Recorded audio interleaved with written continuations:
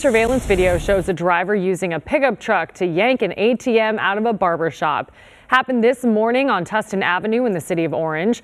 The driver breaks into the business with a crowbar, then attaches a rope to the ATM and rips it off the bolts. The driver put the ATM in the bed of the truck and drove off.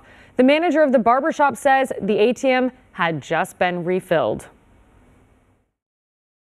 It had, had about estimate about five thousand dollars in there, um, which which kind of sucks because that's money that we have to put out of pocket now, and then we're gonna have to wait on people to come and patch up the the broken glass. They didn't just break one glass; they broke all four glasses. The damage to the business is around $10,000. The barber shop is offering a $1,000 reward for any information leading to the arrest of the suspect.